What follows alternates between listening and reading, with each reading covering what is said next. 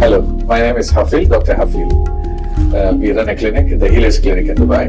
We are into holistic uh, healthcare. We have an integrative approach to healthcare. So it was a very unique concept. Now, we came to know about Idea Spice through a common friend. Sanjit wanted to have uh, an insider view of the patient journey. And uh, the process was very, very unique. Uh, Sanjit wanted to go through that journey to understand uh, every detail of it. So that was one point which we were really confident that this is our partner in this process. Maybe for anything which we make in the future.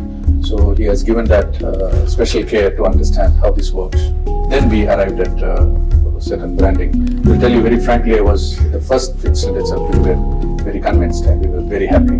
Like probably that is the first enjoyment moment what we had when we wanted to do this business. So that that was a real milestone. Then that journey continued. Uh, we came up with a very cute logo, uh, which has got its essence of what we are doing. So, and he even uh, given the word, even the, the punchline, uh, cure from the core, which was uh, he has picked up from our own approaches and things like that. It's not just because of that color or the alphabets or the style of it is being used, but it has converted anything which we want to talk to the people in a louder voice.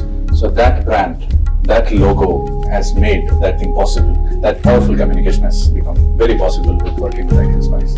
If they come up with one kind of an identity which you call a logo, definitely translate everything what you are doing to the outside world. That's how their philosophy of working. That makes a lot of difference in the people. They want to come up in life, especially startups and things like that. Uh, the logo, usually people think that it's just a monogram or something. No.